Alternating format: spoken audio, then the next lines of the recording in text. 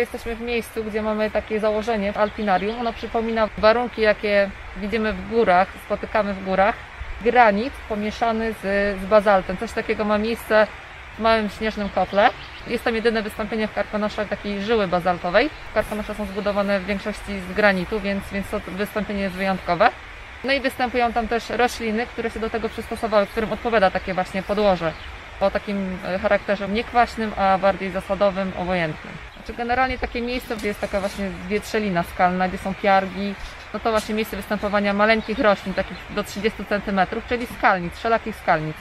I tutaj mamy skalnicę bazaltową, mamy skalnicę śnieżną, mamy e, skalnicę naprzeciwlistną, mamy gęsiówkę alpejską. To są właśnie miejsca, e, gdzie one się czują najlepiej.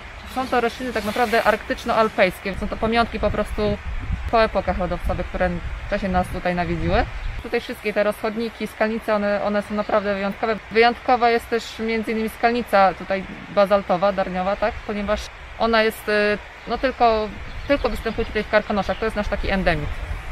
Skalnica bazaltowa jeszcze generalnie jak widać nie kwitnie, to jest jeszcze, jeszcze chwila, moment, o tutaj już pierwsze widać y, kwiaty się pojawiają, więc to jeszcze będzie, jeszcze będzie y, czas na to, żeby, żeby zakwitło. Tutaj mamy skalnicę śnieżną, jest to w ogóle stanowisko w Karkonoszach, jest bardzo cenne, jest bardzo wyjątkowe, ponieważ y, tak naprawdę skalnica jest oderwana od swojego głównego zasięgu, który występuje daleko na północy, czyli w Skandynawii.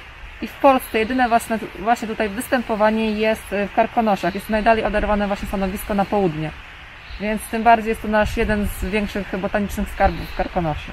Banku genów mamy generalnie właśnie zapas, y, taki właśnie żywy bank genów ma, ma za zadanie po prostu chronić te rośliny, których w naturze jest bardzo mało. No skalnica śnieżna, kiedy, kiedy ją zostaliśmy na miejscu, tam inwentaryzowaliśmy, to było zaledwie kilka sztuk, więc y, to miejsce, tutaj ten karkonoski bank genów y, jest no taką jednak przystanią, gdzie one, gdzie mogą, gdzie może się zachować ta populacja tutaj, prawda, tutejsza. W razie gdyby w naturze coś się stało i one faktycznie, nie wiem, groziłoby im wyginięcie lub naprawdę byłyby na skraju.